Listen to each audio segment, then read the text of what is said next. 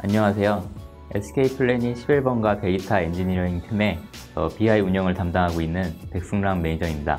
11번가는 SK 플래닛에서 제공하고 있는 오픈 마켓으로 어, 오프라인과 온라인에 이어주는 O2O 서비스를 제공하고 있는 marketplace입니다. 음, MicroStrategy를 사용하게 된 이유 중에 하나는 데이터 중심의 아키텍처에 있는데요.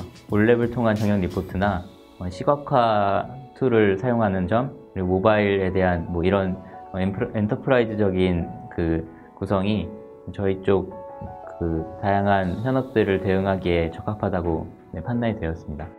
어, 저희가 사용하고 있는 BI 포탈이 있는데요. EBIS라고 어, 이런 EBIS에서 저희가 제공하는 건 정형 리포트 그리고 dashboard, Visual Insight를 제공을 하고 있습니다.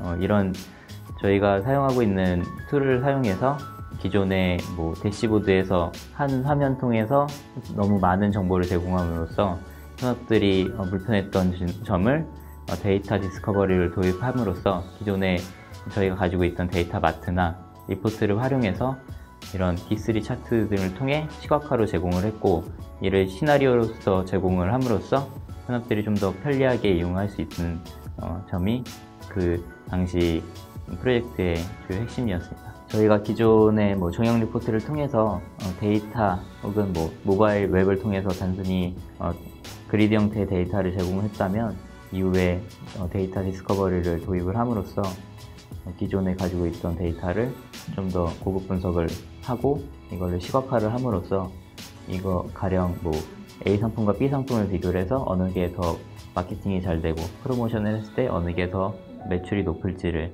이런 고급 분석을 함으로써 저희가 현업들에게 어, 데이터 insight를 제공해 줄 수 있는 기회가 되었습니다.